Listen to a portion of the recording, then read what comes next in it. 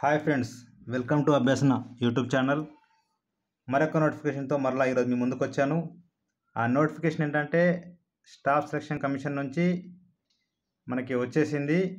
ఆ notification details చూసుకున్నట్లయితే మనకి ఈ విధంగా ఉన్నాయి. Sub inspectors in Delhi police and central armed police forces examination two thousand twenty ఈ నోటిఫికేషన్ అయితే మనకి లాక్డౌన్ తర్వాత వచ్చిన మొట్టమొదటి నోటిఫికేషన్. మనకి ఆన్లైన్ అప్లికేషన్ అయితే ఆల్రెడీ స్టార్ట్ అయిపోయింది. లాస్ట్ డేట్ వచ్చేసి sixteen seven two thousand twenty మనకి ఉంది. సో ఫ్రెండ్స్ మనకి చూసుకున్నట్లయితే ఇక్కడ మనకి పే స్కేల్ వచ్చేసి seventh PC commission pay commission ప్రకారం లెవెల్ సిక్స్ ఉంటుంది. సో ఇక్కడ మనకి వేకెన్సీ పొజిషన్ చూసుకున్నట్లయితే sub inspector executives in Delhi police. మేల్కి వచ్చేసి మనకి టోటల్గా చూసినట్లయితే మనకి నైంటీ వన్ ఉన్నాయి.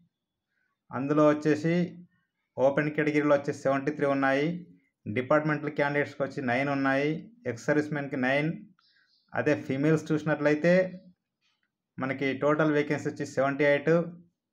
అదే రిమైనింగ్ మన పోస్ట్ చూసినట్లయితే sub inspector GD in central armed police forces.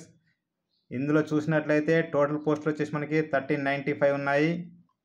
ఇక్కడ మనకి ఇంకా అందులో వచ్చేసి సపో కేటగిరీ వచ్చేసి CRPF BSF ITBP CISF SSB ఉన్నాయి. మనకైతే రిజర్వేషన్కి వచ్చి చూసినట్లయితే ఎస్సీకి వాళ్ళకైతేనేమో fifteen percent ST వాళ్ళకైతేనేమో seven point five percent ex economical weak వాళ్ళకైతేనేమో ten percent PH క్యాండిడేట్లకి అయితే ఫోర్ పర్సెంట్ ఓబీసీ వాళ్ళకైతేనేమో ట్వంటీ సెవెన్ పర్సెంట్ ఉంది. మనకి ఇక్కడ అప్లికేషన్ చూసుకున్నట్లయితే మనకి ఏజ్ వచ్చేసి అయితే ఖచ్చితంగా twenty to twenty five years ఉండాలి.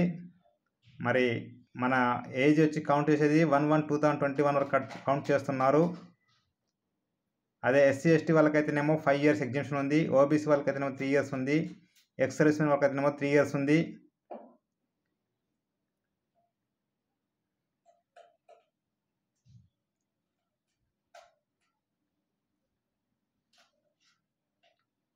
ఈ పీడిఎఫ్ని మీకు నేను చూపిస్తున్నాను.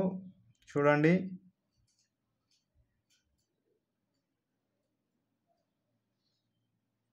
మనకొచ్చేసి ఎడ్యుకేషన్ క్వాలిఫికేషన్ అయితే ఖచ్చితంగా ఎనీ డిగ్రీ ఆర్ ఈక్వలెంట్ అని అడిగారు. అంటే బీఈ బీటెక్ మరి కామన్ బీఎస్సీ బీఏ బీకామ్ ఎవరైనా సరే ఫార్మసీ కావచ్చు ఎవరైనా కావచ్చు అందరు కూడా అప్లై చేసుకోవడానికి అయితే ఎలిజిబిలిటీ ఉంది. డిగ్రీ ఉంటే సరిపోతుంది. Any university any degree.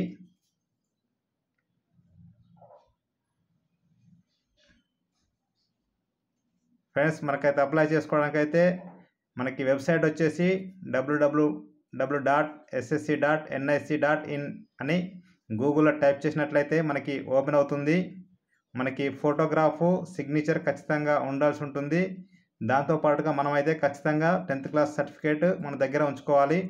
Tenth క్లాస్లో మనకి ఏదైతే నేమ్ కావచ్చు date of birth father name and mother name ఏవైతే ఉన్నాయో అవి కంపల్సరీగా యాజ్ ఈజ్గా మనం ఇందులో రిజిస్ట్రేషన్ చేసుకునేటప్పుడు ఖచ్చితంగా అవే డీటెయిల్స్ ఇవ్వాల్సి ఉంటుంది.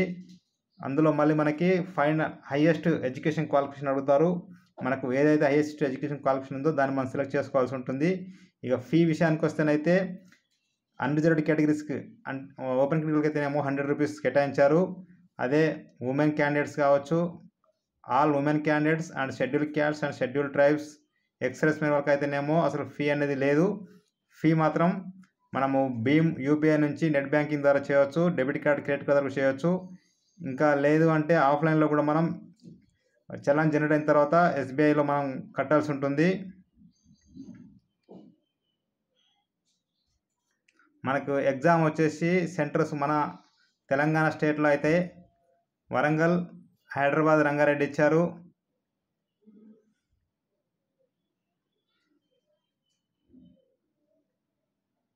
ఫ్రెండ్స్ ఇక్కడ చూడండి మనది వచ్చి సౌతర్న్ రీజియన్ కింద వస్తుంది. సౌదర్న్ రీజియన్లో మనకి ఆంధ్రప్రదేశ్ పుదుచ్చేరి తమిళనాడు తెలంగాణ వస్తాయి. టోటల్ మన రీజియన్ మన అదే ఆంధ్రప్రదేశ్ వాళ్ళకైతేనేమో గుంటూరు కర్నూలు రాజమండ్రి తిరుపతి విశాఖపట్నం విజయవాడ ఇచ్చారు. మనకి ఎగ్జామినేషన్ అయితేనేమో paper one and paper two ఉంటుంది. తర్వాత వచ్చేసి మనకి ఫిజికల్ స్టాండర్డ్ టెస్ట్ ఉంది ఫిజికల్ ఎండ్యూరెన్స్ టెస్ట్ ఉంటుంది.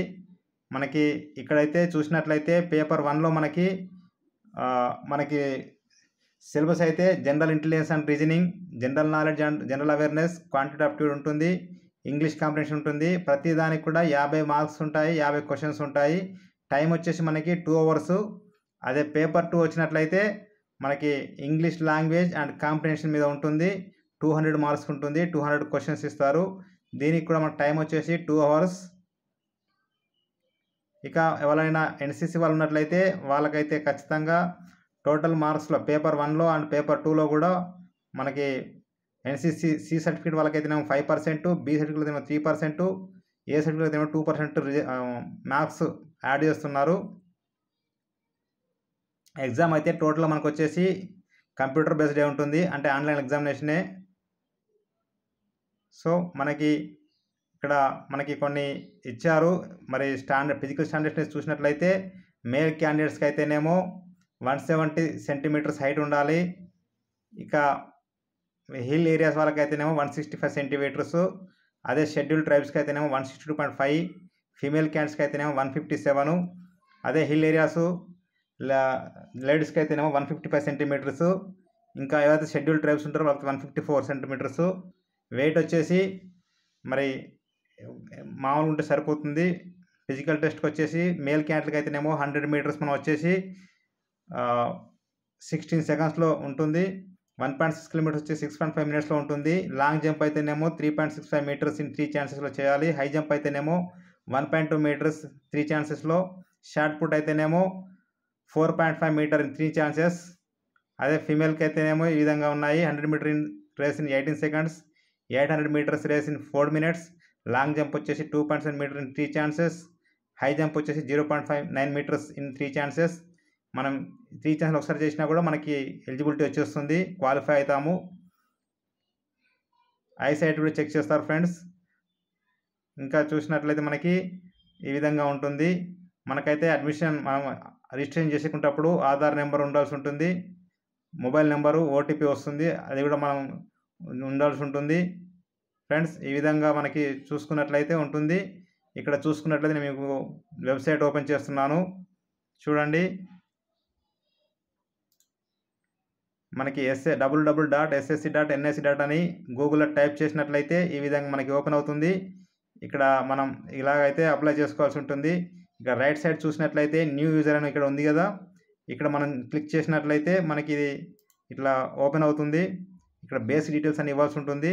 ఇక్కడ Aadhaar number do have Aadhaar? ఉంటేనేమో ఎస్ అనివ్వండి లేదా నో అనివ్వండి ఆధార్ నెంబర్ ఇక్కడ టై- టైప్ ఆఫ్ ఐడి మనం చేయాలి. ఐడి నెంబర్ ఇవ్వాల్సి ఉంటుంది.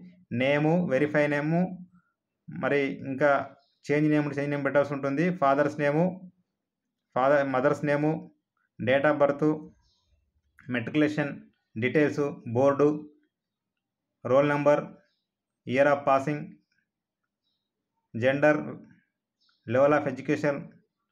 ఇక్కడ చూసినట్లయితే హైయెస్ట్ ఏది ఉంటుంది ఇవ్వాల్సి ఉంటుంది. ఇక్కడ మొబైల్ నెంబర్ ఈమెయిల్ ఐడి ఖచ్చితంగా ఇవ్వాల్సి లాస్ట్కి అయితే మనకి ఇక్కడ స్టేట్ యూనిట్ టెరిటరీ అడిగారు.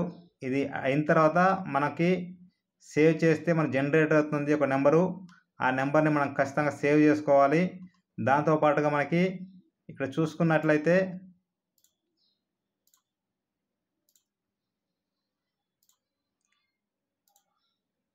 ఫ్రెండ్స్ ఇక్కడ user name registration number password ఉంటుంది. మనం ఇచ్చిన పాస్వర్డ్ ఇక్కడ మనం లాగిన్ అవ్వాల్సి ఉంటుంది. ఇందులో లాగిన్ అయిన తర్వాత మనకి ఇక్కడ అప్లై అనగానే ఇక్కడ మనకి చూపిస్తుంది. ఇక్కడ మనం దేనికి అప్లై చేస్తున్నాం? ఇక్కడ ఎగ్జామ్స్ ఏమేమి ఉన్నాయి? ఇక్కడ చూపిస్తాయి. ఇక్కడ సిఏఎఫ్ ఉంది. దీన్ని మనం క్లిక్ చేసినట్లయితే మనకి ఇక్కడ ఓపెన్ అయిపోతుంది. ఇక్కడ అప్లై అనగానే మనకి ఇక్కడ మనం రిజిస్ట్రేషన్ చేసుకున్నట్లయితే ఓపెన్ అవుతుంది ఫ్రెండ్స్ సో ఈ విధంగా మనం ఈ అప్లికేషన్ కంప్లీట్ చేయాల్సి ఉంటుంది. ఫ్రెండ్స్ ఈ వీడియో కనుక మీకు నచ్చినట్లయితే లైక్ చేయండి షేర్ చేయండి కామెంట్ చేయండి సబ్స్క్రైబ్ చేయండి. మరొక వీడియోతో మరలా మీ ముందుకు వస్తాను. Thank you.